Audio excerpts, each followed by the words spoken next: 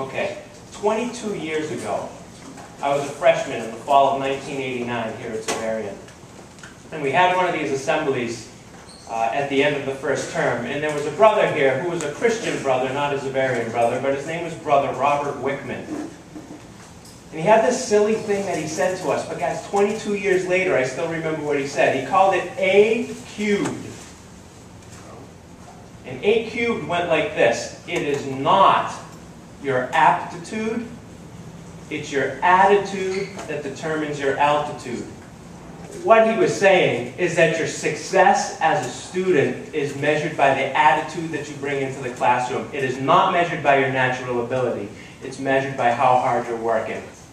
This is the top of the mountain, boys. This is where you're going to be three and a half years from now, a little more than that. That's a diploma from Xaverian Brothers High School. This thing is a covenant, which means that it represents a special relationship that this school has with you. And you know what? It would be nice right now if I could write your name on this and give it to you.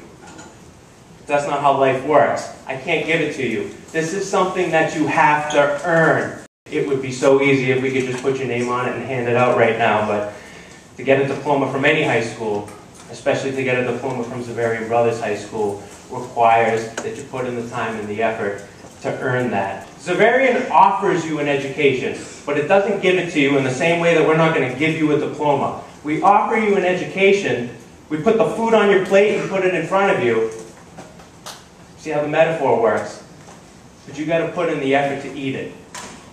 You got to put in the effort to earn it. So what are you going to do about it? What I care about are two things. Are you a good person? And are you working hard? That's it. That's the measure of a man, boys. That's a measure of a human person. Are you a nice person? And are you trying your best? And if those two things are true, the grade will follow. And like Brother Robert Wickman said 22 years ago, it's about the attitude that you bring to it. So what are you going to do about it? Earn it? Amen? Amen. Amen. You guys are the best.